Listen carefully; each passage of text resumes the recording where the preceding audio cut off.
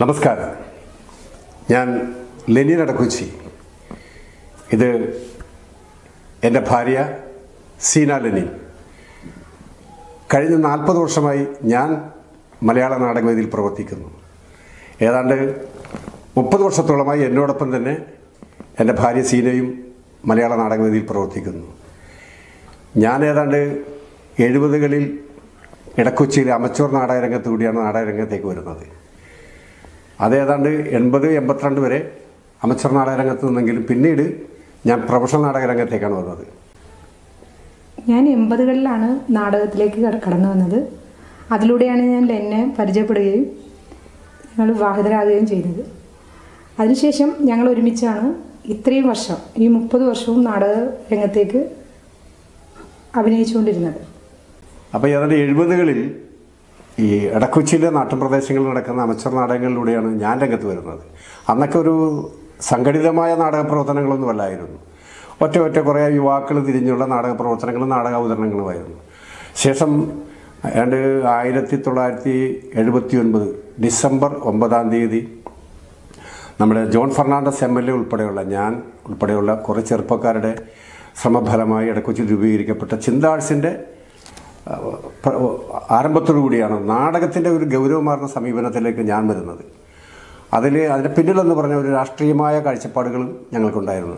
എന്നിലെ നാടകക്കാരനെ വളർത്തിയെടുത്തതിൽ പ്രധാന പങ്കും എന്റെ ഞാൻ വിശ്വസിക്കുന്ന ഒരു പ്രസ്ഥാനം കമ്മ്യൂണിസ്റ്റ് പ്രസ്ഥാനവും അതിന്റെ പ്രവർത്തകരായിരുന്ന അന്നത്തെ പ്രവർത്തകരായിരുന്ന പല ആളുകളുടെ കൊച്ചിയിലുള്ള ഈ കെ നാരായണൻ ഉൾപ്പെടെയുള്ള വലിയ വലിയ കൊച്ചി മേയറായിരുന്ന അദ്ദേഹത്തിന്റെ ഒക്കെ എല്ലാവരുടെയും സഹായങ്ങൾ എന്റെ പിന്നിലുണ്ടായിട്ടുണ്ട് പിന്നീടുള്ള ഓരോ നാടകങ്ങളും രാഷ്ട്രീയ ലക്ഷ്യത്തോടു കൂടി അവതരിപ്പിക്കുന്നതാണ്. അത് അമച്ചൂർ നാടകരംഗത്തായിരുന്നു ഞങ്ങൾ ടി എം അബ്രഹാമിന്റെ പെരുന്തച്ഛൻ അതുപോലെ തന്നെ അദ്ദേഹത്തിന്റെ കൊഴുത്തകളക്കുട്ടി അത്ഭുതാങ്കണം ഉൾപ്പെടെയുള്ള നാടകങ്ങൾ. ഈ നാടകങ്ങളിൽ കേരളത്തിന്റെ ഉടനീളം മത്സരങ്ങളിൽ പങ്കെടുത്തുകൊണ്ട് തന്നെ രണ്ട് അഞ്ഞൂറ്റി അറുപത്തിനാല് പ്രാവശ്യം ഞാൻ ബെസ്റ്റ് ആക്ടറായിട്ട് തിരഞ്ഞെടുക്കപ്പെട്ടിട്ടുണ്ട്. അതിൽ പ്രധാനപ്പെട്ടതാണ് കോഴിക്കോട് കല തിരൂര് തുഞ്ചസ്മാരകം തിരുവനന്തപുരം ഭീമ് കൊച്ചിൻ സിപ്പിയാട് അതുപോലെ പിന്നെ ഏറ്റുമാനൂർ ഫാസ് ഇരിങ്ങാലക്കുട ഫാസ് അങ്ങനെ അവസാനം ഞാൻ തിരഞ്ഞെടുക്ക പിന്നെ ബെസ്റ്റ് ആക്ടറായിട്ട് തിരഞ്ഞെടുക്കുന്നത് ആയിരത്തി തൊള്ളായിരത്തി എൺപത്തി ഏഴിൽ പിന്നെ കേരള സർക്കാർ നടത്തിയ നാടക മത്സരത്തിൽ ബെസ്റ്റ് ആക്ടർ ആയിക്കൊണ്ട് അപ്പോഴേക്കും ഞാനാണ്ട് അമച്ചർ നാടകങ്ങൾ നിർത്തി. പിന്നെ പ്രൊഫഷണൽ നാടകവേദിയിലേക്കാണ് വന്നത്. അത് കൊച്ചിൻ അനശ്വര എന്ന് പറയുന്ന നാടക സമിതി. അതിൽ ഞാനും റിസയും റിസബാബ കൊച്ചിൻ രാമചന്ദ്രൻ ഉൾപ്പെടുന്ന ഒരു സംഘമായിരുന്നു. ചന്ദ്രമാഷി നാടകം. അതിന്റെ എന്റെ സംഘാടകൻ മീനാരാജ് എന്ന് പറയുന്നത് പള്ളൂർത്തിലെ നാടക പ്രവർത്തകനായിരുന്നു. അദ്ദേഹത്തിന്റെ സമിതിയായിരുന്നു കൊച്ചിയിൽ അനശ്വര തുടർന്ന് ഞാൻ പിന്നെ സംഘവേദനയിലേക്ക് പോവുകയാണ്. സംഘവേദനയുടെ കണ്ണൂർ സംഘവേദനയുടെ സഖാവ് പഴശ്ശിരാജ അതുപോലുള്ള നാടകങ്ങൾ അഭിനയിച്ചു. ആ മൂന്ന് വർഷം അവിടെ നിന്നതിന് ശേഷം പിന്നെ ഞാൻ പോന്നു. ഞങ്ങൾ ഈ എറണാകുളത്ത് നിന്നൊരു നാടക സമിതി തുടങ്ങി. കൊച്ചിൻ സർഗചേതന എന്ന് പറഞ്ഞ. പേരിൽ ഞാനും ജോൺ ഫെർണാണ്ടസുമായിരുന്നു എന്റെ സംഘാടകരി. അതിലെ ആ നാടകം ആദ്യ നാടകം ചെയ്തത് പ്രദീപ് റോയി ആയിരുന്നു രാജ്യസ്നേഹി എന്ന് പറഞ്ഞ നാടകം. അതിനുശേഷം സത്യവചനം ഗംഗയാർ ഒഴുകുന്ന നാട്ടിൽ. ആ രണ്ട് നാടകവും എഴുതിയത് ജോൺ ഫെർണാണ്ടസ് ആയിരുന്നു നമ്മുടെ ഇപ്പോഴത്തെ എം എൽ എ. ആ നാടകം സംവിധാനം ചെയ്തത് കെ എൻ ധർമ്മമാഷായിരുന്നു അങ്ങനെ ഞങ്ങൾ ഞാൻ എന്റെ സഹധർമ്മണിയെ ഞാൻ പരിചയപ്പെടുന്നത് പിന്നെ കൊച്ചിൻ അനുസരിയിൽ വെച്ചായിരുന്നു. അങ്ങനെ ആ പരിചയം പിന്നെ അത് വിവാഹത്തിൽ എത്തി. ഞങ്ങൾ വിവാഹിതരായി. പിന്നെ എല്ലാ സമിതികളിലും ഞങ്ങൾ സംഘേതനയിൽ അഭിനയിക്കുമ്പോഴും പിന്നെ തിരുവനന്തപുരം സമതയിൽ അഭിനയിക്കുമ്പോഴും വർക്കല ഭൂമികയിൽ അഭിനയിക്കുമ്പോഴും ഒക്കെ എന്റെ കൂടെ നാടകപ്രവർത്തക എന്നുള്ള നിലയ്ക്ക് എന്റെ കൂടെ സ്ഥിരമായി എല്ലാ നാടക സമിതികളിലും അഭിനയിക്കുകയുണ്ടായി. ഞാൻ കലാരംഗത്തേക്ക് വരുന്നത് ഒരു പിന്നെ പാട്ടുകാരിയായിട്ടാണ് ഞാൻ ആദ്യമായി വരുന്നത്. അത് സ്കൂളിലായിരുന്നു ഏറ്റവും കൂടുതൽ. പിന്നെ വയലാർ അവാർഡിന്റെ സമയത്ത് സ്കൂളിൽ വയലാർ അവാർഡൊക്കെ കിട്ടിയിട്ടുണ്ട് എനിക്ക്. അപ്പോൾ പാട്ടുകാരിയായി വന്നതുകൊണ്ട് തന്നെ എല്ലാവരും എന്നെ വിളിച്ചിരുന്നതെന്ന് പമ്പാ നദി എന്നും പറഞ്ഞാണ് വിളിച്ചുകൊണ്ടിരുന്നത് പിന്നെ അത് കഴിഞ്ഞപ്പം സൂര്യകാന്തി സൂര്യകാന്തി സ്വപ്നം കാണുവതാര്. ഞാനിപ്പോഴും എന്റെ മനസ്സിൽ ആ ഒരു പാട്ട് എല്ലാവർക്കും ഇഷ്ടമാണ് ആ പാട്ട്. ഞാൻ പാടുമ്പോഴാണെങ്കിലും അങ്ങനെയാണ് എന്നെ ഈ മീനാരാജൊക്കെ അറിയാൻ തുടങ്ങിയത്. അതിനുശേഷമാണ് എന്നോട് ഇങ്ങനെ ഞാൻ അതിനു മുൻപ് ഞാനൊരു ഏഴാം ക്ലാസ്സിൽ അതായത് ഈ എക്കിനാസ് കോളേജിന്റെ ഉദ്ഘാടനത്തിനോടനുബന്ധിച്ച് ജോസി പെരേര ഒരു നാടകം സെറ്റ് ചെയ്തായിരുന്നു. അപ്പം അന്ന് ഞാൻ ഇവിടെ പാടാൻ വന്നിട്ടുണ്ട്. ഈ എക്കിനാസ് കോളേജിന്റെ ഉദ്ഘാടന സമയത്ത്. അപ്പോൾ പാടാൻ വേണ്ടി നാടകത്തിൽ പാടാൻ വേണ്ടിയാണ് അന്ന് വന്നത്. അതിനുശേഷമാണ് ലഞ്ചേണ്ണായിട്ട് ഞാൻ പരിചയപ്പെടുന്നത്. അന്ന് തുടങ്ങിയാണ് എനിക്കുള്ള പരിചയം. അതിനുശേഷം കുറേ വർഷങ്ങൾക്ക് ശേഷമാണ് വീണ്ടും ഞാൻ കണ്ടുമുട്ടുന്നത് അനശ്വര എന്നെ പിന്നെ നാടകത്തിൽ അഭിനയിക്കാൻ വിളിക്കുമ്പോഴാണ്. ഞാനും ചേട്ടനും തമ്മിൽ പരിചയപ്പെടുന്നത്. പിന്നെ അതിനുശേഷം അത് ഞങ്ങളുടെ വിവാഹത്തിലേക്ക് കലാശിച്ച് പിന്നെ ഞങ്ങൾ ഒരുമിച്ചാണ് നാടകത്തിന് പോവുകയും വരികയൊക്കെ ചെയ്തുകൊണ്ടിരുന്നത്. പാടുമെന്ന് ചോദിച്ചാൽ പാടാറുണ്ട്. ഇപ്പം ഞങ്ങളുടെയൊക്കെ നാടകത്തിന്റെ റെക്കോർഡിങ്ങും മറ്റു കാര്യങ്ങളൊക്കെ വരുമ്പോൾ പാടിയിട്ടുണ്ട്. അല്ലാതെ തന്നെ പിന്നെ കുമരകം മാഷൊക്കെ അല്ലേ? കുമരകം രാജപ്പ മാഷ് എന്നെ ഒരുപാട് പ്രാവശ്യം നാടകത്തിനൊക്കെ വേണ്ടി പാടിപ്പിച്ചിട്ടൊക്കെ ഉണ്ട് അപ്പോൾ പുള്ളി തന്നെ പറയുമായിരുന്നു നീ നന്നായിട്ട് ശ്രമിക്കുക നിനക്ക് നന്നായിട്ട് പാടാൻ കഴിയും. പിന്നെ ഈ നാടകത്തിലൂടെ പോകുന്നത് കൊണ്ട് നമ്മൾ പാട്ടിലേക്ക് പിന്നെ തിരിഞ്ഞില്ല. പഴയൊരു പാട്ടിന്റെ ഓർമ്മയ്ക്കായിട്ട് ഞാൻ നാല് പേര് മൂള. സൂര്യകാന്തി സൂര്യകാന്തി സ്വപ്നം കാണുവതാരേ ആരേ സ്വപ്നം കാണുവതാരേ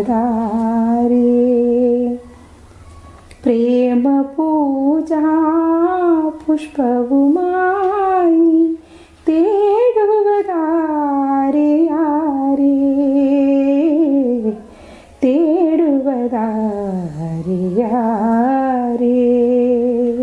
ഈ അമച്ചർ നാടക പ്രവർത്തനവുമായി എനിക്ക് വളരെ നാടകരംഗത്തുണ്ടായിരുന്ന വളരെ വലിയ മഹാന്മാരായ നാടകക്കാരുമായിട്ട് എനിക്ക് പരിചയപ്പെടാൻ ഇടയായി. അതിൽ പ്രധാനപ്പെട്ട ഒരാളാണ് അബ്രഹാം മാഷ്.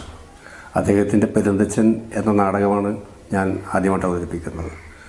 അത് കഴിഞ്ഞ് അദ്ദേഹത്തിന്റെ തന്നെ അംഗീകാരത്തോടു കൂടി പിന്നെ കൊഴുത്തകളക്കുട്ടി അത്ഭുതാങ്കണം അങ്ങനെ ഒട്ടു വളരെ നാടകങ്ങളും മാത്രമല്ല ഈ വലിയ വലിയ കമ്പനികളിലൊക്കെ നാടകം ചെയ്യാൻ പോകുമ്പോഴേക്കും അദ്ദേഹത്തിന്റെ കൂടെ എന്നെ വിളിച്ചുകൊണ്ട് പോകാൻ ഞങ്ങൾ അങ്ങനെ അങ്ങനെയുള്ള നാടക പ്രവർത്തനങ്ങളുണ്ട് പക്ഷെ എനിക്കിതിനെല്ലാം വിട്ടിട്ട് ഒരു ഒരു അമച്ചറിലേക്ക് വരുമ്പോഴേക്കും എനിക്ക് ആദ്യമായി പരിചയപ്പെടുന്ന വേണുകുട്ട സാറുമായിട്ടായിരുന്നു വി കെ വേണുകുട്ട സാർ സഖാവ് നാടകത്തിലെ.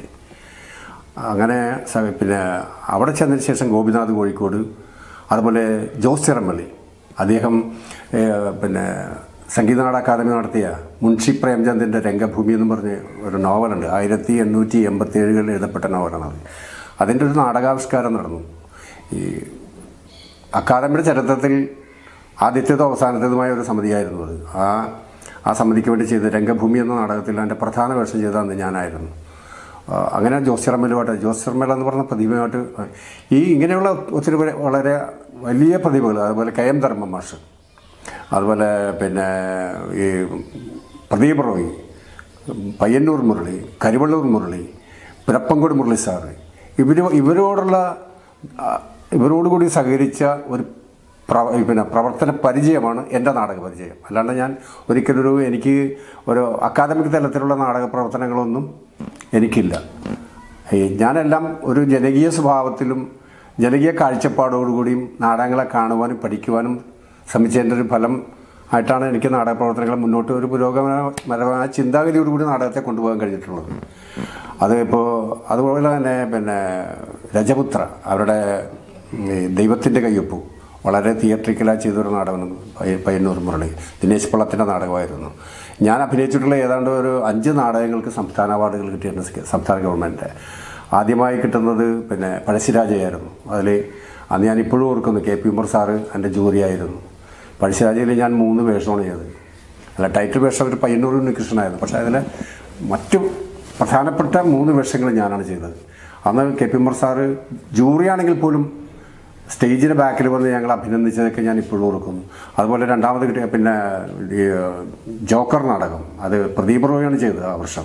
ചാർലി ചാപ്ലിന്റെ കഥയാസ്പദമാക്കി അന്ന് ചാപ്ലിന്റെ വേഷം ചെയ്തത് അഭയം കലവൂരായിരുന്നു. ചാപ്ലിന്റെ സഹോദരന്റെ വേഷം ആ നാടകത്തിലെ വളരെ പ്രധാനപ്പെട്ട വേഷമായിരുന്നു സഹോദരന്റെ വേഷം. അതൊന്ന് ഞാൻ ഞങ്ങൾ ആ മത്സരത്തിൽ പങ്കെടുത്തുകൊണ്ട് ആ നാടകത്തിന് ആറ് അവാർഡുകൾ ഉണ്ടായി പ്രദീപ് റോയി ഉൾപ്പെടെയുള്ളവർക്ക് അതിനകത്ത് അവാർഡായിരുന്നു. അഭയം കലവൂരെന്ന് ഏറ്റവും നല്ല നടനായി തിരഞ്ഞെടുക്കപ്പെട്ട നാടകങ്ങളാണ്. അങ്ങനെ ഈ സംസ്ഥാന അവാർഡുകൾ നേടിയ കുറേ നാടകങ്ങളിൽ പങ്കെടുക്കാൻ തന്നെ കഴിഞ്ഞത് അതൊരു വലിയ ഭാഗ്യമായിട്ട് ഞാൻ കരുതുന്നു. അങ്ങനെ അവതരിപ്പിക്കപ്പെട്ട മലയാളത്തിൽ ഒരുമാതിരി അവതരിപ്പിക്കപ്പെട്ട നല്ല നാടകങ്ങളിൽ അഭിനയിക്കാൻ കഴിഞ്ഞു എന്നുള്ളതാണ് എന്റെ അഭിനയ ജീവിതത്തിലെ ഏറ്റവും വലിയൊരു ഒരു സന്ദർഭമായിട്ട് ഞാൻ കരുതുന്നത്. സ്മരണയിലുള്ളതും എനിക്കത് തന്നെയാണ്. അതുപോലെ ഇന്ന് ഞാൻ ഒരു വളരെ സാഹോദര്യതുല്യം സാഹോദര്യ തുല്യം കാണുന്ന കുറേ നല്ല ഡയറക്ടർമാരുണ്ട്. പ്രദീപ് റോയി അതുപോലെ തന്നെ പയ്യന്നൂർ മുരളി അതുപോലെ എന്റെ ഒരു ജ്യേഷ്ഠ സഹോദരനായിട്ട് ഞാൻ കാണുന്ന നമ്മുടെ പിന്നെ ഗോപിനാഥ് കോഴിക്കോട് എന്റെ ഒരു ഗുരുതുല്യനായി കാണുന്ന പിന്നെ കെ എൻ ധർമ്മ മാഷ് അതുപോലെ അന്തരിച്ചു പോയെങ്കിലും പി കെ വേണുക്കുട്ടൻ സാറ് പിന്നെ മാളാര മാളാരവന്ന ചേട്ടൻ അതുപോലെ വർക്കല ജോയി ഒത്തിരി ഒത്തിരി ഒത്തിരി ഈ അഭിനയ ജീവിതത്തിൽ അങ്ങനെ നാടകത്തിലെ ഒട്ടു വളരെ പ്രതിഭകളോടുകൂടി സഹകരിക്കാൻ കഴിയുന്നു. അതുപോലെ ഞാൻ സ്വന്തമായി സമിതി നടത്തിയപ്പോഴും എനിക്ക് കേരളത്തിലെ ഒരുമാതിരപ്പെട്ട നല്ല ആർട്ടിസ്റ്റുമാരോട് ഇപ്പോൾ കെട്ടിസ് പടന്നൽ അതുപോലെ മരട് ജോസഫ് ഏട്ടൻ കൂത്താട്ടുകുളം ലീല ജോസി പരേര അങ്ങനെ നല്ല ആളുകളോട് കൂടി അഭിനയിക്കാൻ കഴിഞ്ഞത്. അവരിൽ നിന്നുമൊക്കെ എനിക്ക് പലതും പകർന്നെടുക്കാൻ കഴിഞ്ഞിട്ടുണ്ട്. അതുപോലെ തന്നെ പൗളിൻ പൗളിനും ഞാനും പങ്കെടുക്കുന്ന പല മത്സരങ്ങളിലും ഞങ്ങൾ രണ്ടുപേരും നല്ല നടനും നല്ല നടിക്കുള്ളൊക്കെ പ്രൈസുകൾ ധാരാളം വാങ്ങിച്ചിട്ടുണ്ട് ഞാനും പൗളിയോട്ട് അതുപോലെ നമ്മുടെ പറവൂർ കമലം അന്തരിച്ചു പോയി വളരെ എന്നുവെച്ചാൽ നീലക്കോയിൽ സിനിമയിൽ പിന്നെ പ്രധാന കഥാപാത്രത്തിന്റെ അമ്മയുടെ വേഷം ചെയ്തവരാണ്.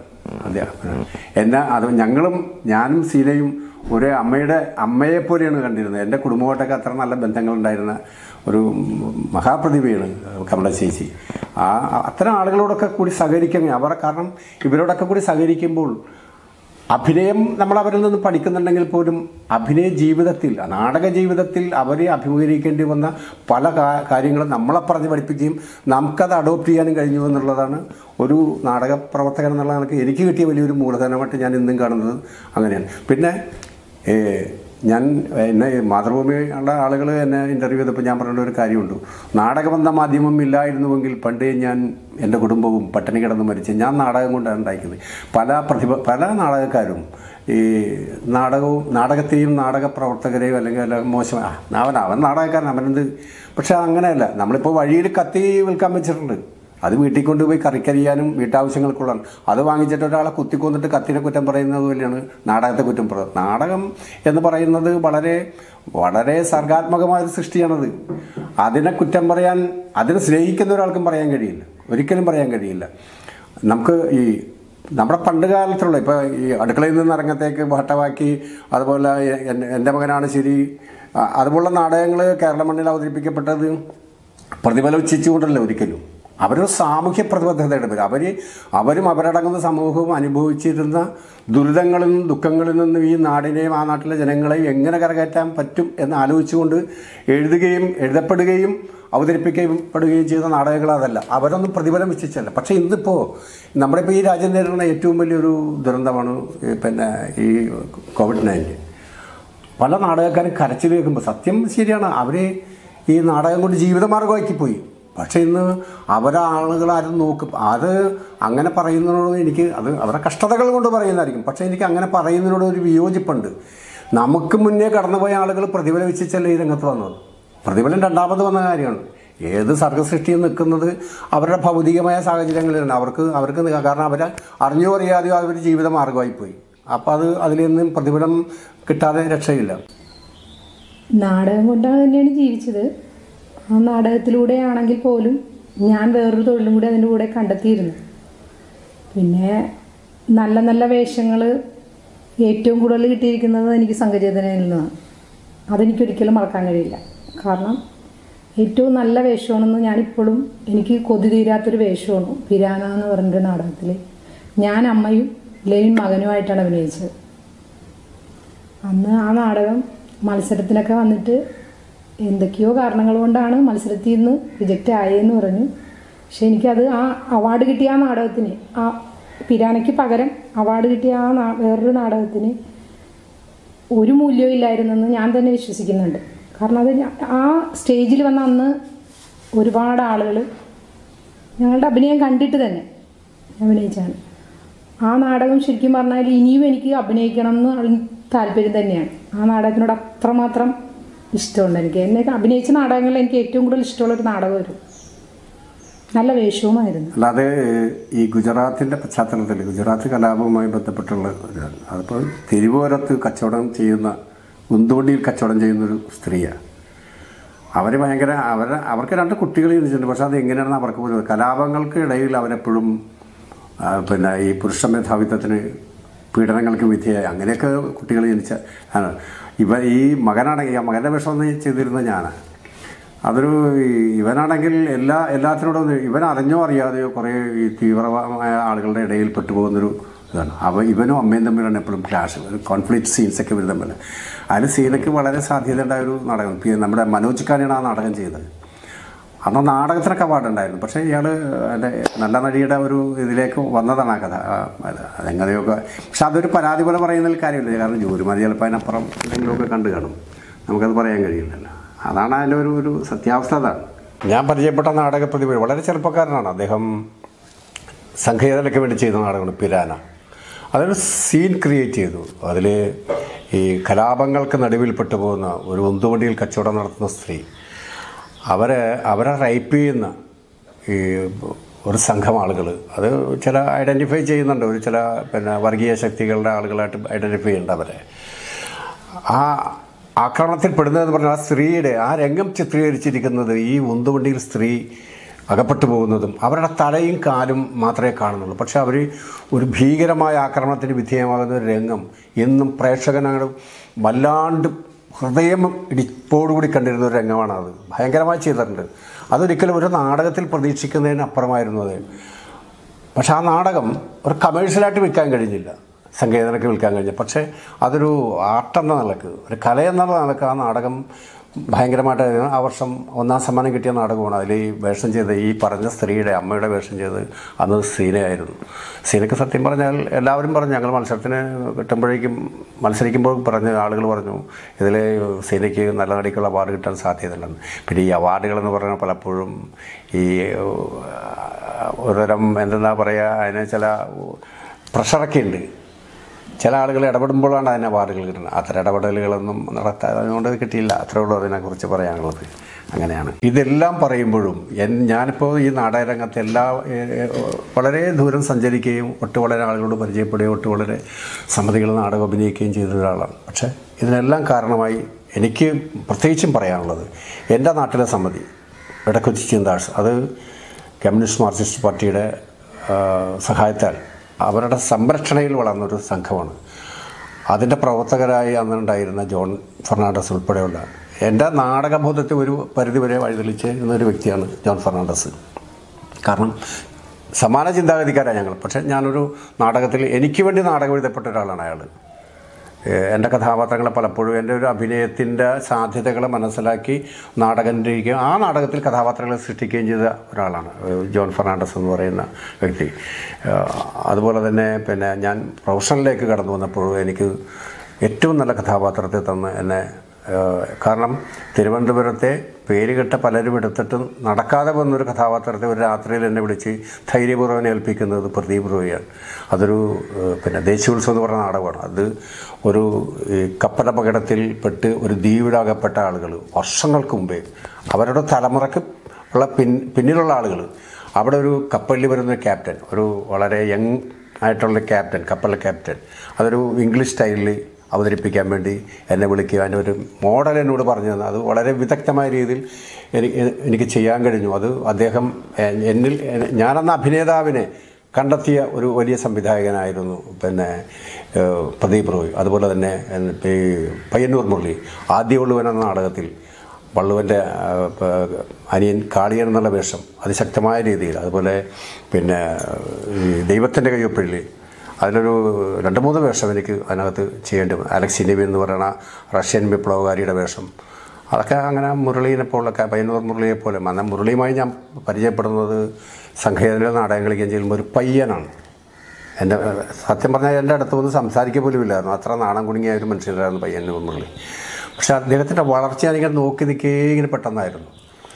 തെക്കൻ നാടകങ്ങളിൽ വന്ന് അഭിനയിക്കുകയും പിന്നെ സംവിധായകനാകുകയും നാടകത്തെക്കുറിച്ച് കൂടുതൽ പഠിക്കുകയും നല്ല സംവിധായകർ കേരളം കണ്ടിട്ടുള്ള പ്രൊഫഷണൽ നാടകവേദികൾ നല്ല സംവിധായകർ ഒരാളായി.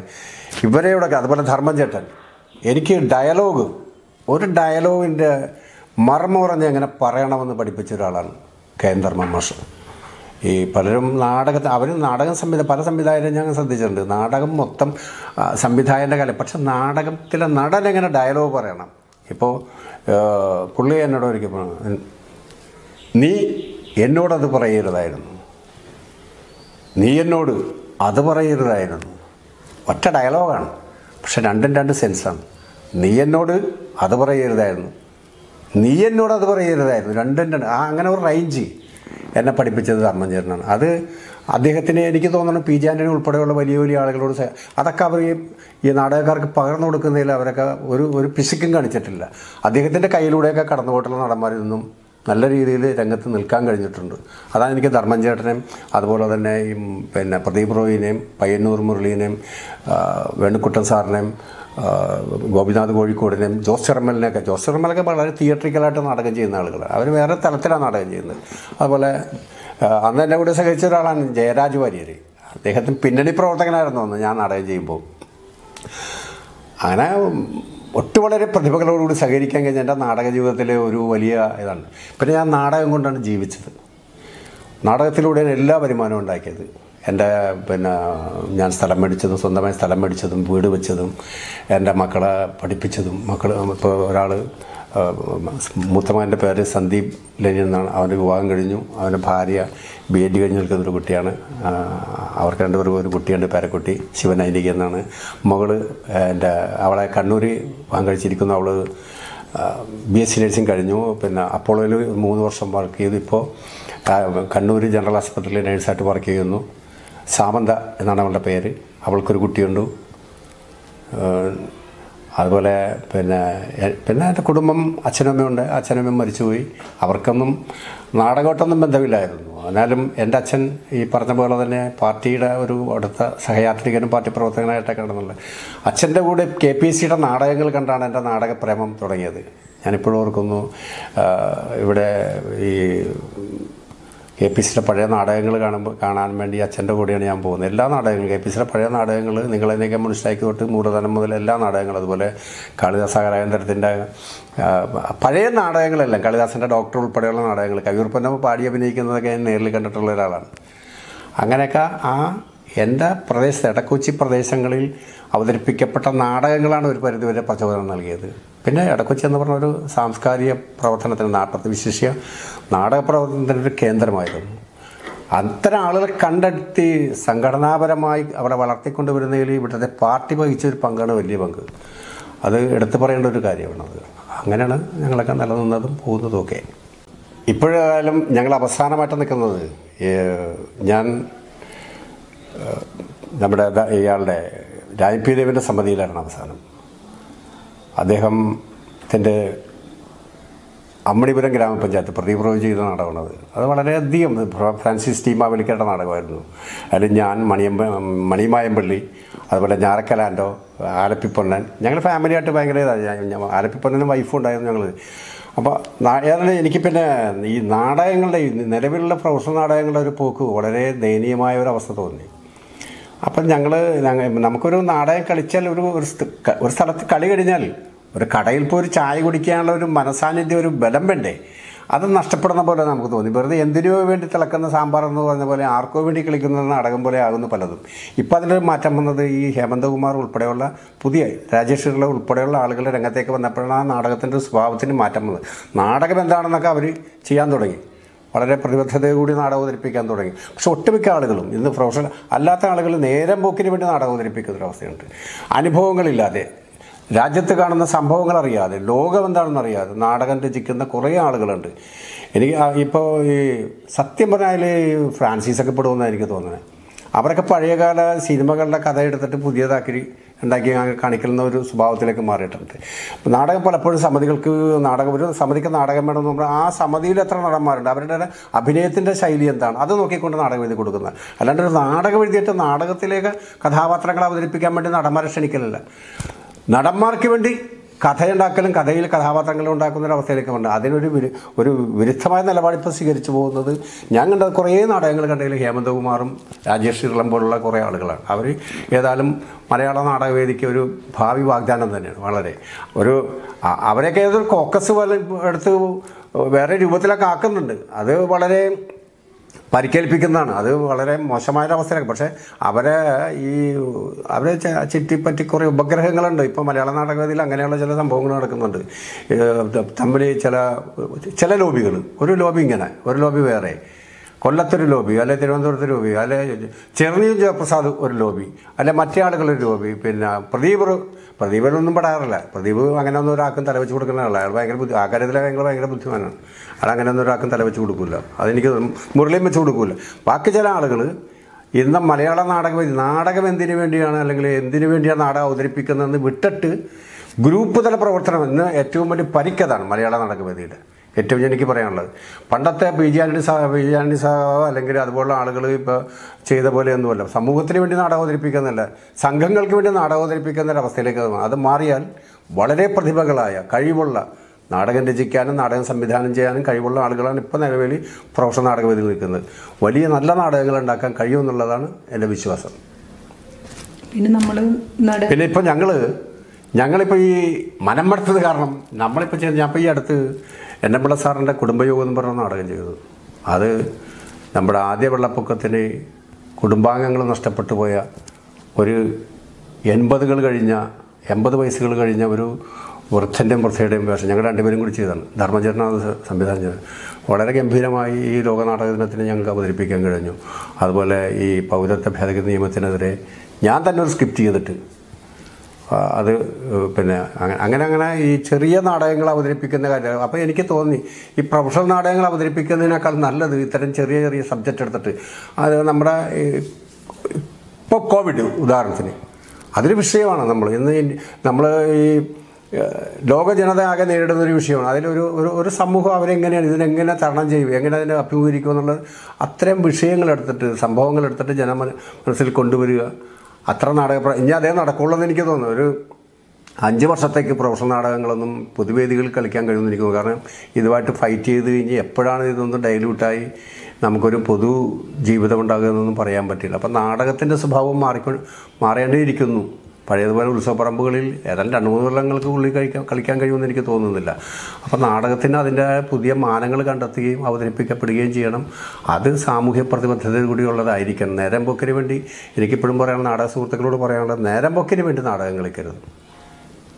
കാലത്തെ അറിഞ്ഞ് നേരത്തെ അറിഞ്ഞ് നാട്ടുകാരറിഞ്ഞ് ലോകത്ത് നടക്കുന്ന സംഭവങ്ങൾ അറിഞ്ഞ് നാടകം രചിക്കണം നാടകം അവതരിപ്പിക്കണം എന്നാണ് എനിക്ക് പറയാനുള്ളത്.